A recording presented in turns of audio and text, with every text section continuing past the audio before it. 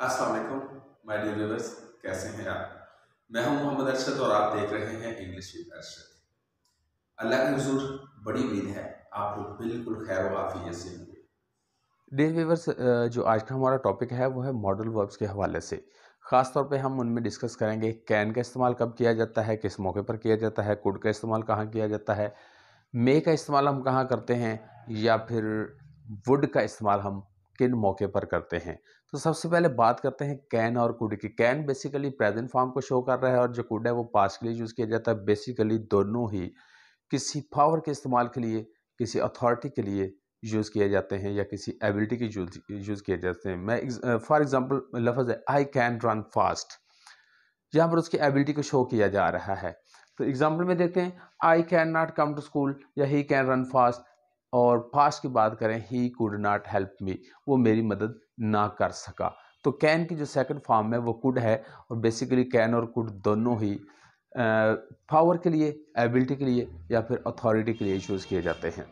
दूसरा लफ्ज़ है जनाब हमारे पास मे इसके दो तीन इस्तेमाल हैं। सबसे पहला है परमिशन के लिए, आप अक्सर सुना होगा may come in may go to drink water may I help you तो सबसे पहले तो यह है जो मे का इस्तेमाल है, ये किसी से इजाज़त मांगने के लिए इस्तेमाल किया जाता है। जबकि दूसरे नंबर पर है, यूज़ फॉर हैपनिंग समथिंग किसी चीज़ के वाक़ होने के लिए भी ये चीज़ मे का लफ्ज़ यूज़ किया जा सकता है। मिसाल के तौर पर इट मे रेन टूडे आज बारिश हो सकती है और ही मे कम टूडे वो आज आ सकता है। तो किसी हैपनिंग के लिए भी ये यूज़ किया जा सकता है।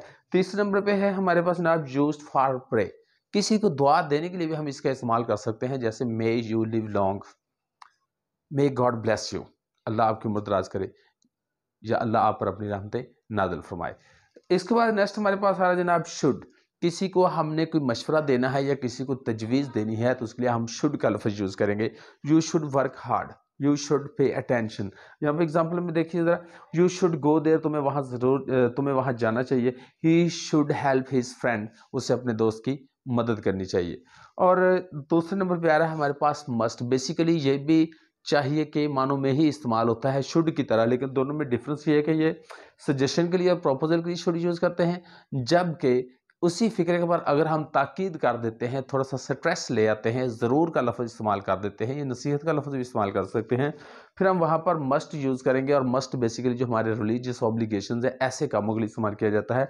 बस वी मस्ट ऑफ़र प्रेयर्स हमें नमाज़ अदा करनी चाहिए। We must respect our elders हमें अपने बड़ों की इज़्ज़त करनी चाहिए, बड़ों का एहतराम करना चाहिए।